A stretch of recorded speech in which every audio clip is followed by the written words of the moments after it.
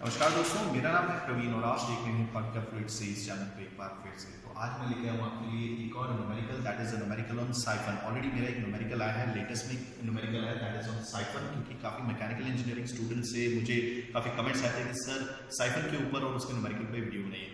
But start करने से पहले, अगर आपने मेरा चैनल सब्सक्राइब नहीं किया तो प्लीज़ ये है आपसे होती है बड़ी ऐसी रिक्वेस्ट कि आप मेरा चैनल सब्सक्राइब कीजिए और लाइक एंड शेयर करना भूलेगा ताकि मैं ऐसी एजुकेशन वीडियोज़ आपके लिए हमेशा हर पल लेके आता हूँ और इसी वीडियो के डिस्क्रिप्शन बॉक्स में आपको एक लिंक मिलेगा डॉक्टर आर के बंसल की बुक का, जो मेरे हिसाब से काफ़ी अच्छी बुक है फ्लूइड मैकेनिक्स की। तो प्लीज़ इसे आप परचेज कर सकते हैं अगर आप चाहते हैं। तो चलिए स्टार्ट करते हैं। और जैसा कि न्यूमेरिकल में मैंने काफ़ी टाइम से बता रहा हूँ कि न्यूमेरिकल को सबसे पहले आपको नेटिव लैंग्वेज में समझना बहुत ज़रूरी है, तभी आपको मार्क्स मिलेंगे। तो पढ़ता हूँ। Cycle of diameter twenty two hundred M M connects to reservoir having a difference in elevation of 15 metre सबसे पहले तो ये देखिए कि साइफन क्या होती है। साइफन एक पतली सी ट्यूब होती है जिसके थ्रू फ्लूइड हायर रिजर्वायर से बह के लोअर रिजर्वायर पे चले जाता है। ज़्यादातर आपने देखा होगा कि जब पुराने जमाने में फादर आपके स्कूटर या मोटरसाइकिल यूज़ करते होंगे तो पेट्रोल कभी कभी निकालना पड़ जाता है। तो क्या करते हैं? साइफनिंग करते हैं। साइफनिंग किसकी? पेट्रोल की, जिससे पेट्रोल की टंकी अगर खाली करनी है या स्कूटर की टंकी तो वो एक पतली सी पाइप लाते हैं रबर की, फ्लेक्सिबल पाइप, फिर उसे थोड़ा सा खींचते हैं और एक बार फ्लो मतलब खींचना क्यों है? ताकि वैक्यूम प्रोड्यूस किया जाए। उसे खींचते ना थोड़ा सा लिक्विड और फिर वो जिसमें आपको अनलोड करना है या निकालना है, उसमें से आप निकाल सकते हैं। तो साइकिल ऑफ़ डायमीटर 200 एमएल तो साथ साथ में हम गिवन डेटा भी लिखते जाएँगे, ठीक है? दिस इज़ गिवन डेटा क्योंकि कोई भी न्यूमेरिकल को सॉल्व करने के लिए गिवन डेटा लिखना बहुत ज़रूरी है।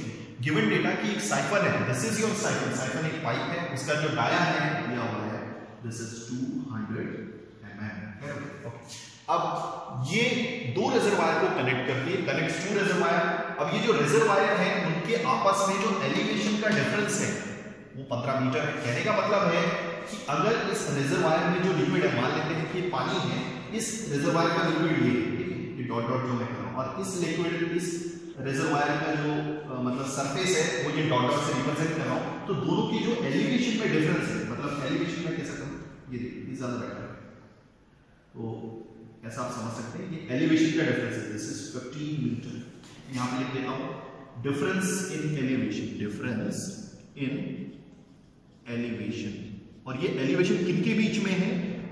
लिक्विड की जो सतह है, उनके बीच का ये डिफरेंस है। This is we have given 15 metre ये 15 मीटर दिया हुआ okay the total length of the siphon is 600 metre आपका साइफन यानी कि जो पाइपलाइन है, यहाँ से स्टार्ट होके इधर जा रही है और इधर से नीचे की तरफ़ आ रही है। तो इसकी जो लेंथ है, वो दी हुई है। This is length is your कितना दिया हुआ 16 600 metre next the summit is 4 metre above the water level in the upper reservoir पूरा समिट अभी समिट क्या होता है समिट एक चोटी होती है, जैसे पहाड़ की चोटी होती है, वैसे ये एक टाइप का पहाड़ी वाला अगर आप देखेंगे तो समिट इज़ समिट क्लियर तो ये बोल रहा है कि ये जो समिट है, ये लगभग चार मीटर ऊपर है। किससे? पानी की सतह से। और मेंशन भी किया है कि जो फ्लूइड बह रहा है, वो पानी ही है। ठीक है? तो पानी की सतह से ये चार मीटर ऊपर है। तो पानी की सतह ये है, और वो भी पानी की सतह किसकी? ये रिजर्वायर की है? ये रिजर्वायर की तो हम बात कर रहे हैं इस क्वेश्चन में ये कि अपर रिजर्वायर तो अपर रिजर्वायर है ए तो कहने का मतलब है, अगर मैं यहाँ से लेता हूँ तो ये हो गया आपका यहाँ से यहाँ। ये कितना हो गया? फोर मीटर आई थिंक अब आपको ये क्लियर हो गया होगा। What I mean okay then uh, if the separation takes place at 2.8 meter of water absolute एक बार यहाँ पे ध्यान देने लायक बात है कि यहाँ पर जो प्रेशर बताने के लिए जो स्केल यूज़ की गई है यहाँ पे जो स्केल है वो एब्सोल्यूट प्रेशर में बताई गई है। और जो ये 2.8 मीटर आपने शायद मुश्किल मुझे नहीं लगता कि आपने कहीं सुना होगा क्योंकि ज़्यादातर प्रेशर बताया जाता है एटमॉस्फेयर में बार में केजी पर सेंटीमीटर स्क्वायर में किलो पास्कल में पास्कल में, न्यूटन पर मीटर स्क्वायर में। मगर ये जो स्केल है, यानी कि जो प्रेशर बताया गया है इन टर्म्स ऑफ़ वाटर की हाइट में बताया गया है और हेड के तौर पे बताया गया तो यहाँ पर क्या बोल रहा है कि जो सेपरेशन टेक्स प्लेस होता है सेपरेशन कुछ नहीं है।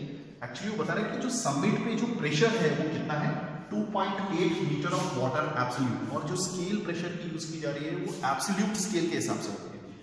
तो मैं यहाँ पे लिख दूँगा कि समिट पे जो प्रेशर है तो पी एस समिट पे मतलब यहाँ पर जो प्रेशर है डेफिनेटली इसके ऊपर जो प्रेशर पड़ रहा होगा, पानी की सतह पे वो ज़्यादा होगा।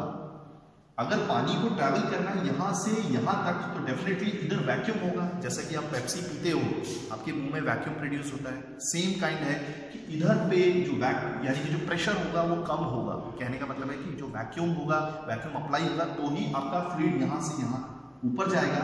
इस पॉइंट पे वैक्यूम चाहिए, यानी कि प्रेशर लो चाहिए।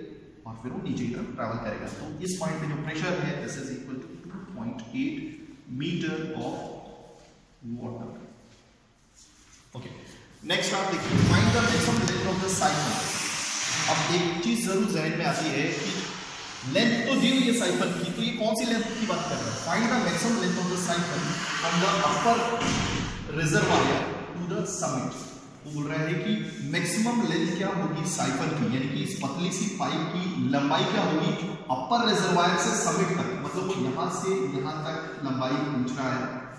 समझ गए? तो एक काम करते हैं, जो टोटल लेंथ अगर L1 है तो मैं अपर रिजर्वायर से यहाँ तक की जो लंबाई है, इसको L2 मान लेता हूँ। Question mark this is your question mark okay अगर आपको लग रहा है कि थोड़ा सा नज़दीक आना चाहिए तो आ सकते हैं।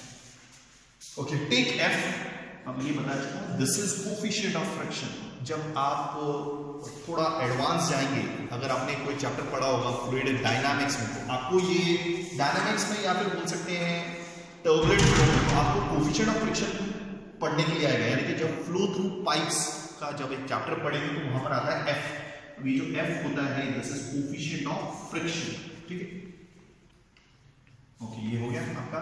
और देखिए, अब एक चीज़ और देखिए। मैं इससे पहले बोलता था ना कि एटमॉस्फेरिक प्रेशर जो है आपका वन बार वन एटमॉस्फेयर में दिया जाता है। मगर यहाँ पर जो एटमॉस्फेरिक प्रेशर है, वो पानी फ्लूइड पानी को लिया गया है और जो हाइट बताई गई है, यानी हेड के तौर पे प्रेशर बताया गया है। और जो फ्लूइड है 10.3 मीटर ऑफ़ वाटर कहने का मतलब है कि एटमॉस्फेरिक प्रेशर को पानी के टर्म्स में बताया गया वही पानी की वर्टिकल हाइट के टर्म्स में बताया गया तो वन बार को आप लिख सकते हो या वन एटमॉस्फेयर को लिख सकते हो 10.3 मीटर ऑफ़ वाटर मैं यहाँ पे लिख देता हूँ this is atmospheric pressure equal to 10.3 metre of water याद रखिएगा, ये इसकी यूनिट है। 10.3 मीटर किसके टर्म्स में ये हेड है? पानी के टर्म्स में। आप चाहे तो मर्क्यूरी एटमॉस्फेरिक प्रेशर को पेट्रोल के पेट्रोल के हेड के टर्म्स में भी बता सकते हैं। समझ गए? चलिए तो हम स्टार्ट करते हैं हमारा नोवेल्टो क्लियर फ़िलहाल मैं इसे मिटा देता हूँ। हमने सारा डेटा लगभग तो लिख चुका है। तो हमें ढूंढना क्या था? यहाँ से यहाँ तक की लंबाई? नो ओके तो हमें ढूंढना क्या था? सबसे पहले हम क्या करेंगे? सबसे बेटर है कि हम यहाँ पे पानी की सतह पे यहाँ पर और इस पॉइंट पे। पानी की सतह पे। बर्नौलिस इक्वेशन लगाएँगे ठीक है? ओके तो अपना ही। बर्नौलिस इक्वेशन बिटवीन कौन सी सरफेस पे लगाना है?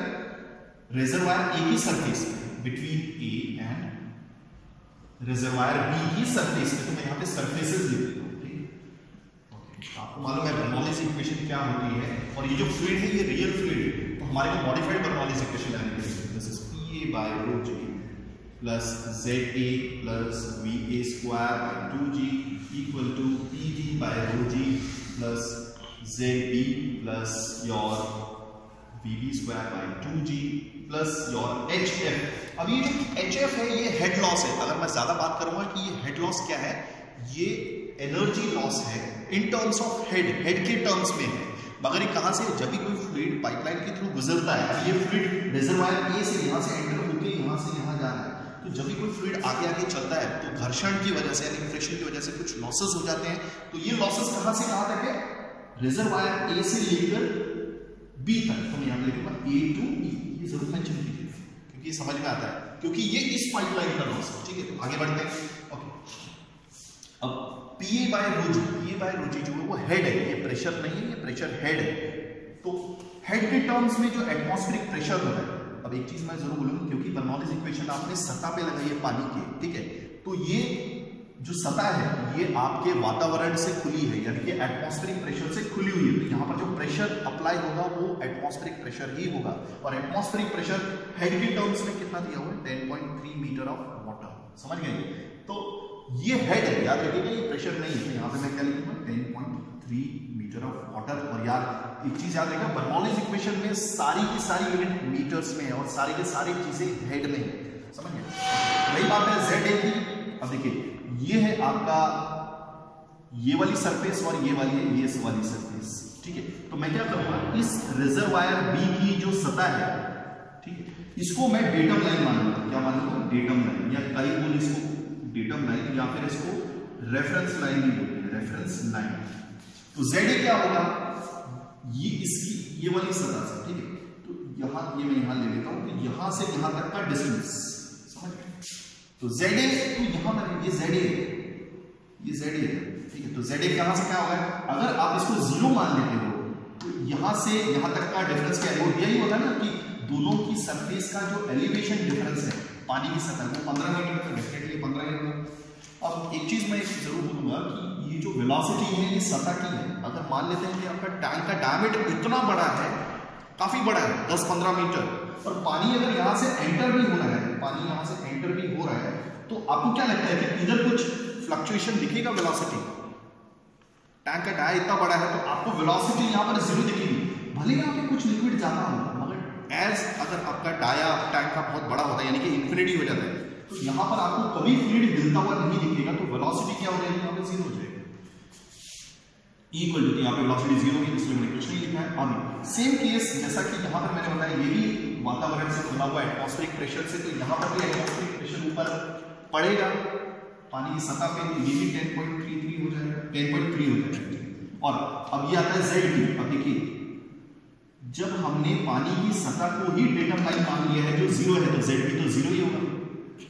नेक्स्ट वी बी स्क्वायर अब ये जो वेलोसिटी है, कहा कि ये पानी की सतह पे। वही चीज़ है कि पानी यहाँ से फ्लो की तरफ़ आ रहा है, मगर टैंक का डाया इतना बड़ा है, पानी की सतह इतनी ज़्यादा आपको हिलती हुई नज़र नहीं आएगी तो ये भी ज़ीरो हो जाता है, ठीक है? वही बात एच की तो एच क्या होता है?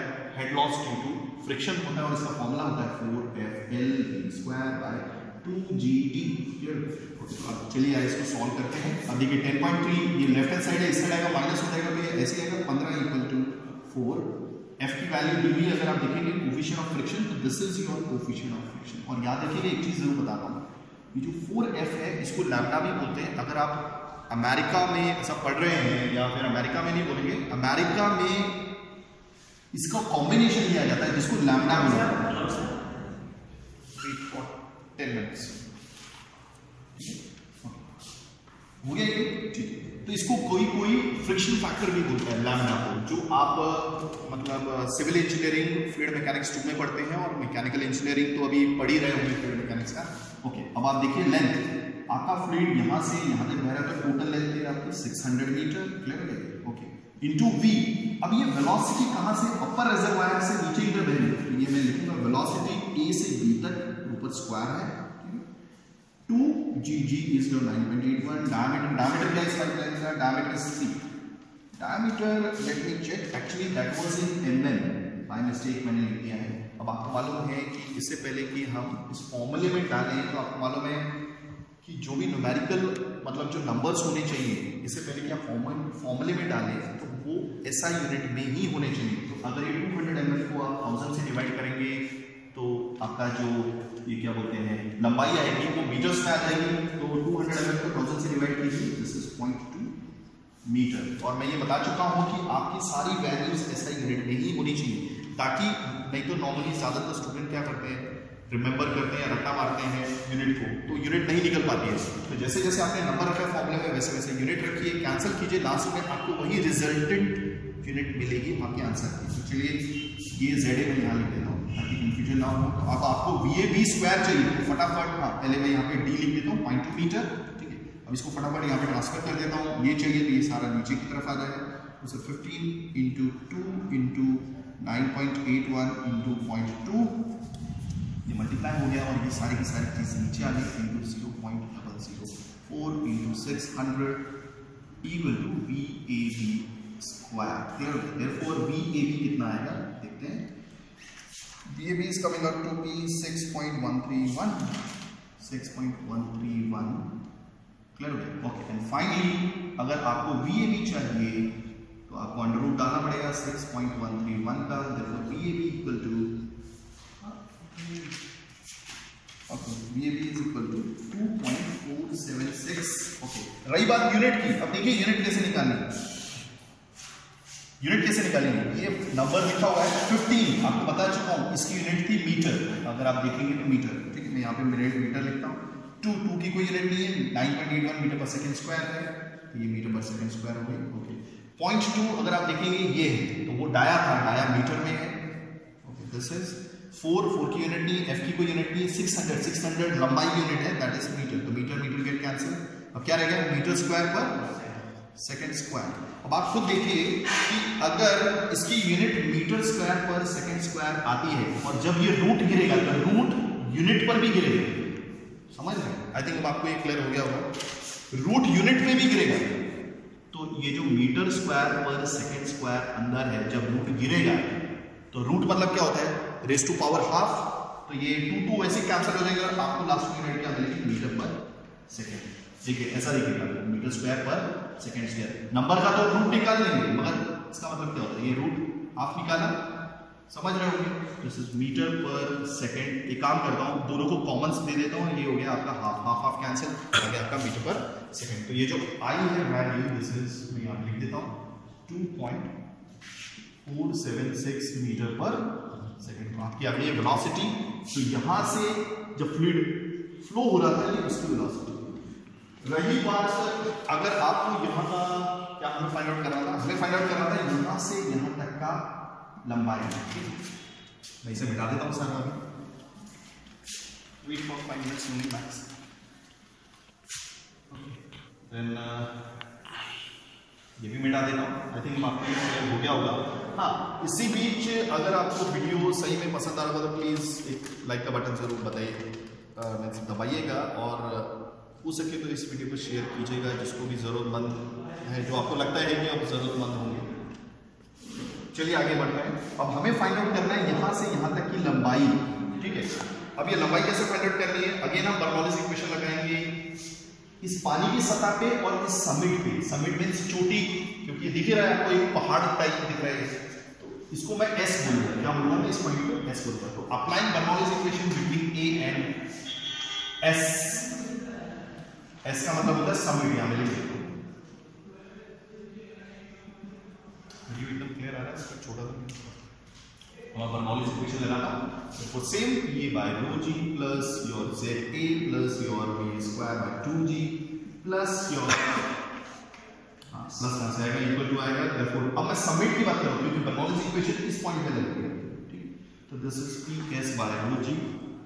plus zs plus your vs square by 2g plus your यहाँ से लेकर यहाँ तक का head loss that is H F और ये कहाँ से कहाँ तक है?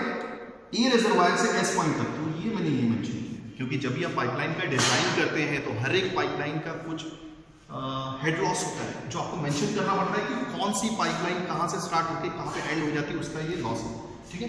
अब जैसा कि आपको मैंने बताया है ये तो प्रेशर हेड है, वो भी सतह के ऊपर जो प्रेशर अप्लाई हो रहा है, वो एटमॉस्फेरिक प्रेशर और एटमॉस्फेरिक प्रेशर इसके टर्म्स में 10.3 और यूनिट तो मीटर है। आप देखेंगे बर्नौलीज इक्वेशन में, अगर आप देखते हैं, सबकी यूनिट मीटर्स में ही होती है, क्योंकि सब एक हाइट में प्लस जेड ए अब जेड ए अब देखिए, अब बर्नौलीज इक्वेशन कौन कौन से पॉइंट पे लगा रहे हैं, ये भी बहुत मायने रखता है। एक ये पॉइंट है और एक ये पॉइंट है। तो कहने का मतलब है, इस लेवल को फिर मेरे को ज़ीरो लेना पड़ेगा। ये ज़ीरो डेटम लाइन वाली हो। जाएगी समझिए ये क्या बन जाएगा हमारा? ज़ीरो यहाँ पे नहीं लिखा। हूँ इधर लिखता हूँ। ज़ीरो ये डेटम लाइन या फिर इसको रेफरेंस लाइन भी बोल सकते हैं। तो ये तो ज़ीरो हो गया। क्योंकि ये बर्नौलीज इक्वेशन इसके बीच में और यहाँ लग रही है। तो इसको मेरे को रेफरेंस लाइन लेना ही पड़ेगा। ज़ीरो प्लस सतह पे कभी भी फ्लूइड हिलता नहीं है। भले नीचे से कोई फ्लूइड जा भी रहा हो तो ये भी ज़ीरो हो जाएगा। रही बात पाइपलाइन के अंदर की बात अगर हम करते हैं तो वहाँ का प्रेशर पाइपलाइन के अंदर की अगर मैं बात करता हूँ तो डेफिनेटली यहाँ पर प्रेशर होगा। तभी तो फ्लूइड ज़्यादा होगा, और वो भी लो प्रेशर होगा। याद रखिएगा, या फिर बोल सकते हैं अपनी भाषा में वैक्यूम तो दिस इज़ डेफिनेटली मेरे को पी एस बाई रोजी लिखना होगा मैं ज़ीरो थोड़ी ना कर सकता हूँ। प्लस जेड ए अब देखिए, ये जेड एस है। ये बर्नौलीज इक्वेशन आपने जो दो सेक्शन पे लगाई है, एक यहाँ पर, एक यहाँ पर तो ये यहाँ तक की दूरी है। यहाँ से लेकर यहाँ तक। ये कितनी हाइट पर है? और बेस हमने जो रेफरेंस लाइन है, इस, किसकी कंपैरिजन में हम हाइट निकाल रहे हैं? इसके कंपैरिजन में, क्योंकि बर्नौलीज इक्वेशन हमने यहाँ पे लगाई। है this is your four metre आप लिख लीजिए यहाँ पे फोर ही आएगा डेफिनेटली रही बात वेलोसिटी की तो इस पॉइंट पे वेलोसिटी क्या होगी? अब आपको मालूम है, पूरी पाइपलाइन की जो वेलोसिटी होगी डाया चेंज नहीं हो रहा है। डाया चेंज नहीं होने की वजह से जो वेलोसिटी इधर होगी इधर होगी इधर होगी इधर होगी, जो आप पहले निकाल चुके हो यहाँ पे लिखा है, वही वेलोसिटी इधर भी होगी। ये क्या हुआ?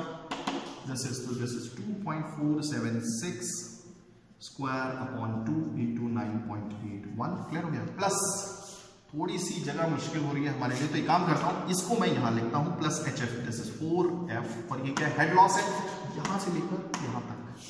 Four F L V square upon two G D तो ये देखिए, अब जो चीज़ें हैं टेन पॉइंट थ्री फोर को मैं इधर ले लेता हूँ, ठीक थोड़ी देर, एक minute. Ten point three equal to P square G ये जो है सबमिट पे आपको सबमिट पे आपका प्रेशर है सबमिट पे आपका एब्सोल्यूट प्रेशर इधर दिया होगा ये दिया होगा ये ऑलरेडी दिया होगा इस पॉइंट का जो प्रेशर है, वो दिया होगा तो this is your 2.8 plus your 4 इसको मैं कैलकुलेट कर लेता हूँ हमारे कितना आया है this is this is coming 0.3125 okay हो गया देन प्लस योर ये वैल्यू दिस 4 इनटू 0. f की वैल्यू क्या है आपका? की value this is coefficient of friction zero अब देखिए, मेरे को तो फाइंड आउट करना था यहाँ से यहाँ तक की लंबाई और हमने बर्नौलीज इक्वेशन भी से तक लगाया तो लंबाई भी यहाँ से यहाँ तक ही आएगी। ये लंबाई कितनी है? ये तो मुझे फाइंड आउट करनी है, इसमें मुझे मालूम नहीं है। और इसको मालूम है टू इसमें टू लिख देता हूँ four F L V square अब वेलोसिटी तो सेम ही रहने वाली है भले वो, क्योंकि डाया आपका चेंज नहीं हो रहा है। और आपने वेलोसिटी निकाली है टायर नहीं चेंज होने की वजह से इस पॉइंट की वेलोसिटी इस पॉइंट की वेलोसिटी इस पॉइंट की वेलोसिटी सेम रहेगी जो आपने पहले निकाल चुकी है परफॉर्मेंस इक्वेशन इस सतह पे लगा के और इस सतह पे निकाल के। यानी कि रिजर्वायर ए पे जब लगाया था और रिजर्वायर बी पे लगाया था परफॉर्मेंस इक्वेशन तो आपका यहाँ पर क्या लिखना है आपको? V तो एक काम करता हूँ इसको और अच्छे से लिखता हूँ. ए एस ये यही मतलब है ना वेलोसिटी यहाँ से लेकर यहाँ तक की वेलोसिटी ओके तो ये कितना है? This is two point again थोड़ा सा वो तो मैं इसे मिटा देता हूँ. Two point four seven six ऊपर स्क्वायर है.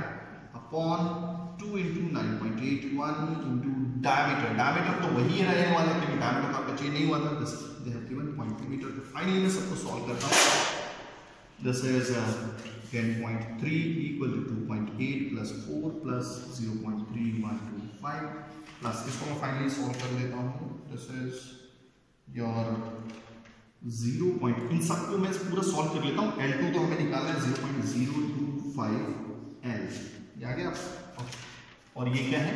एल ये जो एल है एक्चुअली एल टू माना हुआ है, ठीक है, मैं एल टू मान लेता हूँ। कंफ्यूजन नहीं होना चाहिए और फाइनली मैं क्या करूँगा? ये जो चीज़ें हैं, ये इस साइड लिया हुआ ten point three minus two point eight minus four क्योंकि उस साइड जाके ये माइनस में हो जाएगा? Minus zero point three one two five equal to 0.025 L2 and finally, ये पूरा माइनस करके आता है। एक काम करूँ, मैं माइनस नहीं करूँगा, मैं डायरेक्ट आंसर निकाल लेता हूँ। आप पूरा माइनस करके मेरे पास वो वैल्यू लिखी नहीं हुई है, पूरा माइनस कीजिए। और ये नीचे आ जाएगा डिवाइड होने की वजह से आपका जो L2 आएगा दिस इज़ 127.7 मीटर्स जो कि आपको बता दिया है कि इसमें सारी जो हेड्स होंगे वो मीटर्स में तो डेफिनेटली मीटर में ही आने वाला क्योंकि हर चीज़ इसकी वीडियो में आएगी। आई होप आपको ये न्यूमेरिकल समझ में आ गया तो ऐसे ही अगर आपके कमेंट्स होंगे मतलब कोई भी वीडियोस पे प्लीज़ मुझे ज़रूर लिख के भेजिएगा थैंक्स फॉर वॉचिंग जय हिंद, जय भारत।